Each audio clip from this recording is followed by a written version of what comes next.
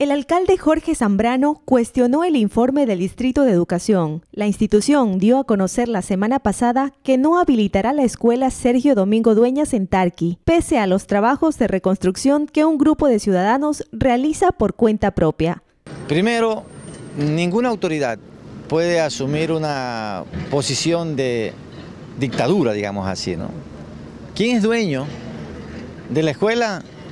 No es pues el ministerio, es el pueblo. Un estudio patológico estructural hecho por la Universidad Eloy Alfaro dice que la escuela se encuentra en una zona de peligro por estar al lado del hotel de siete pisos Agua Blanca. Por ello, Sandra Franco, directora distrital de educación, aseguró que las reparaciones que un grupo de habitantes realiza actualmente a la escuela son antitécnicas y no cuentan con la autorización del distrito. No soy yo el que está tomando una medida para forzar nada, es la comunidad. Y si quiere reclamarle a alguien, eh, la autoridad de educación tendría que hacerlo a la comunidad.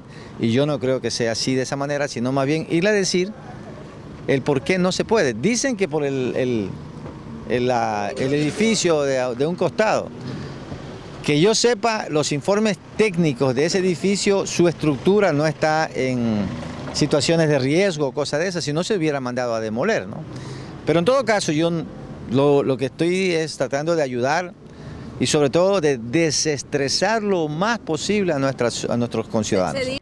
La institución educativa fue cerrada tras los daños estructurales que sufrió con el sismo de 7.8 grados que golpeó a Manta en el 2016. Lo que sí confirmó Educación es que en la ex zona cero se habilitará la escuela Ramón Virgilio Azúa para el siguiente año escolar.